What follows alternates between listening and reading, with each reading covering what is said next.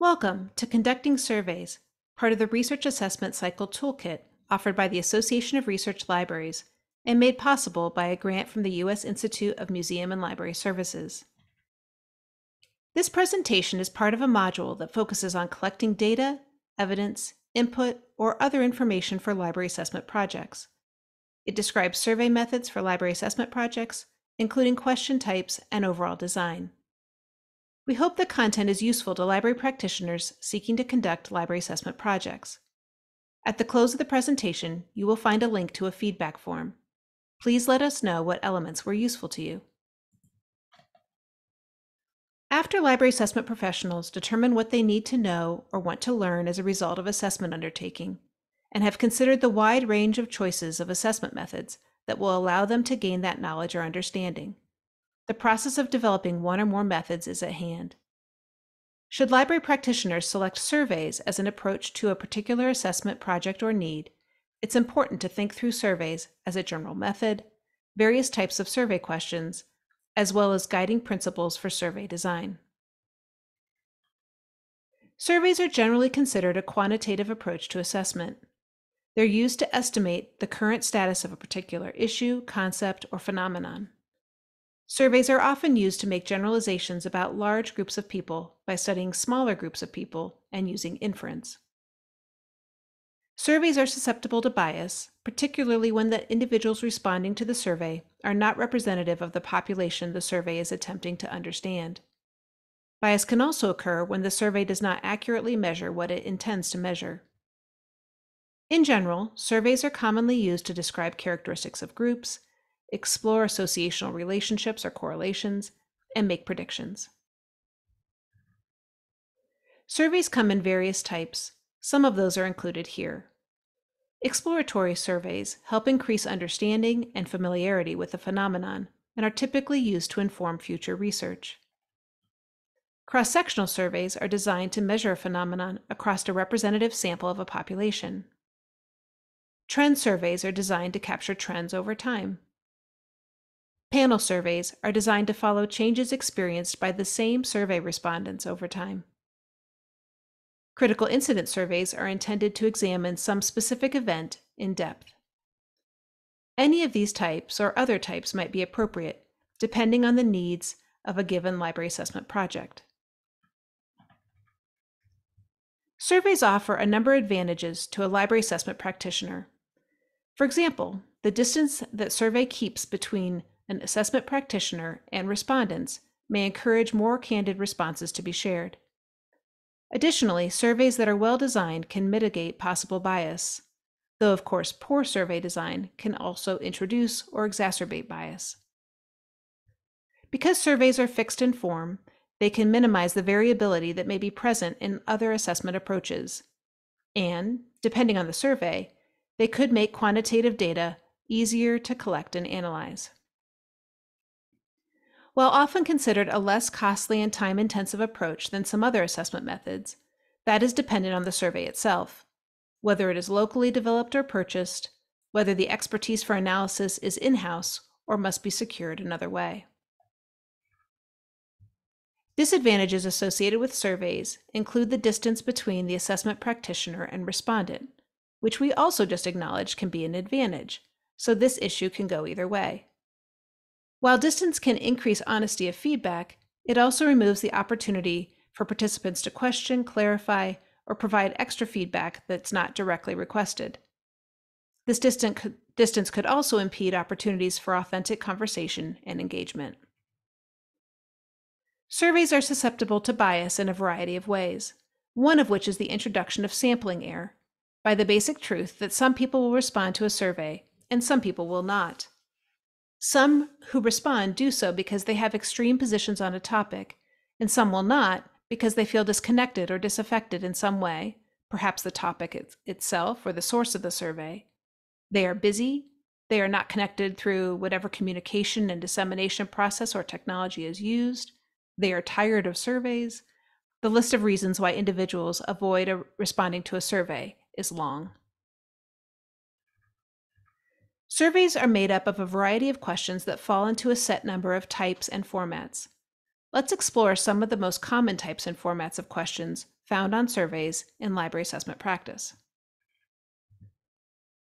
Survey questions can cover any number of types or content areas. Some questions might be factual, others might be focused on opinions, attitudes, perspectives, or feelings. Surveys can also include questions that gauge the respondent's knowledge about a topic or their perceptions of themselves, including their feelings of self efficacy in a particular area. Survey questions might also probe behavior, either actual behavior in the past or present, or hypothetical behavior given a particular scenario or situation. Survey questions also come in a variety of formats, including open ended questions that allow respondents to answer in their own words. These can take longer to analyze and require different approaches than fixed choice questions. Fixed choice or closed questions are answered in predetermined ways through yes no options, scales, checklists, and so on. Responses to these questions are easier to analyze and offer less variation than open ended question formats, but they are also susceptible to inaccurate responses, can introduce bias by confining respondents to preset options, and may frustrate respond- respondents, sometimes to the point of their early termination of an entire survey. Typically, surveys used in library assessment include a mix of open and closed question formats. One common structure for fixed choice survey questions is a checklist.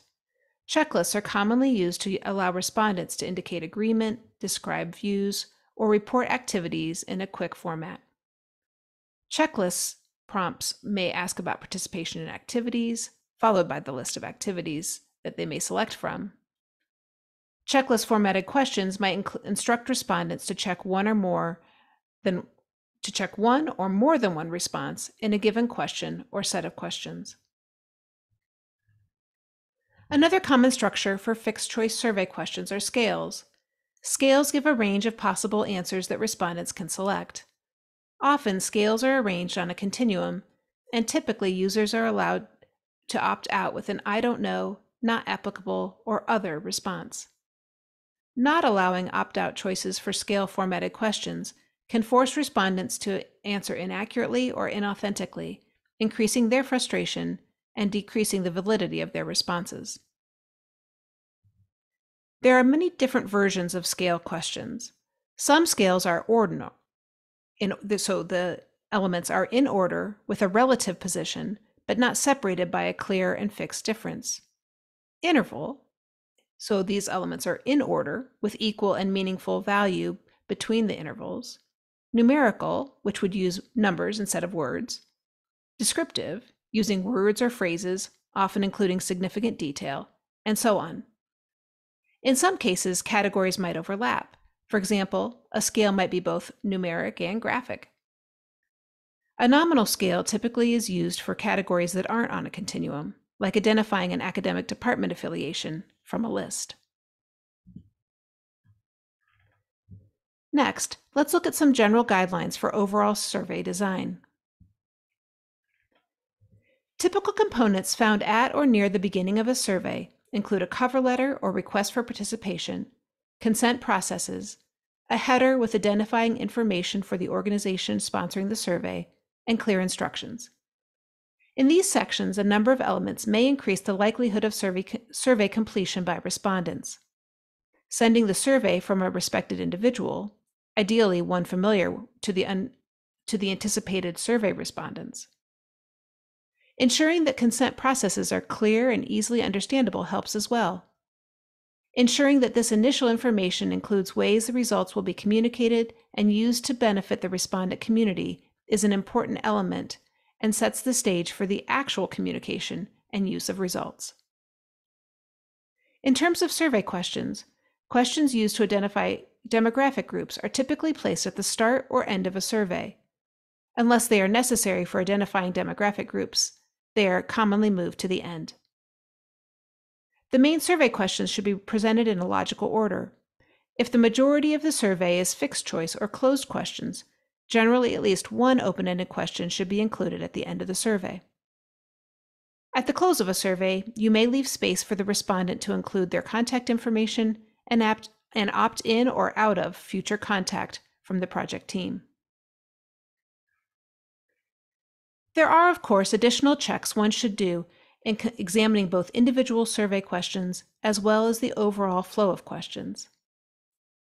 Perhaps one of the most important questions survey designers should ask themselves for each and every question in the survey is Is this question necessary? Will the answer to the question be useful? And if so, specifically, how might the response be used? What questions or decisions might be enabled through the gathering of responses to this question? Responses to these questions survey designers should ask themselves should not be vague. Rather, concrete answers should be readily apparent for about whether the survey question will generate information that is necessary and sufficient for the purposes of the assessment project. If one can't imagine how the response to a question might be used, one should really reevaluate inclusion of the question at all. Another check to consider is whether the anticipated respondents can answer the questions in an informed way. In other words, will these particular respondents know the answers, or would some other group of respondents be better prepared to answer the questions? Overall, questions at the start of a survey should be on topic easy to respond to, and interesting to respondents. In general, survey questions should be grouped together based on topic or subtopic and move from general to specific. It's important to think about question order, as some questions might skew responses by creating an emotional reaction or leading respondents in some way. Check each question to see if it might be influenced by surrounding questions, and consider rearranging questions to avoid this kind of context error. When it comes to language, each word in a survey question should be analyzed to check for bias, assumptions, or loaded terms or phrasing. Each question should also ask only one question. It's easy for longer questions to accidentally tie in multiple concepts or even totally separate questions, making it nearly impossible for respondents to answer accurately and authentically. Check for jargon, technical, or professional terms that may be second nature to the survey designers but not to the survey respondents. And to be sure that you've achieved clear questions, pilot test all questions with participants similar to the intended survey respondents, and then revise based on the feedback you receive. Even experienced survey designers can let bias sneak into their surveys unintentionally. There are nearly countless types of bias that can impact the validity and utility of a survey. This list represents a few. Selection bias, for example, results when the individuals responding to a survey differ from the population of intended interest. This can happen quite often in a variety of ways. Poor design is a culprit, as are tendencies of some populations to respond or not respond to surveys. When survey samples are created haphazardly, this type of bias can run rampant. Researcher and sponsorship bias occur when wishful thinking, self serving intentions, or other motivations influence the assessment design to produce the desired, rather than actual and true, results. This can be intentional or unintentional. Design bias and bias introduced by respondent interpretations are both generated by weaknesses in instrument design, instruction, use of terms, etc. Response bias occurs when low response rates cause the final sample to fall short of being representative of the intended population. Again, these are just a few biases that can impact attainment of valid and usable survey results. Being familiar with these biases is one solid step toward preventing them. When library assessment practitioners know better, they do better. A strong foundation in understanding research biases is one of the many areas where knowing more can make an enormous difference in the final outcome of an assessment project.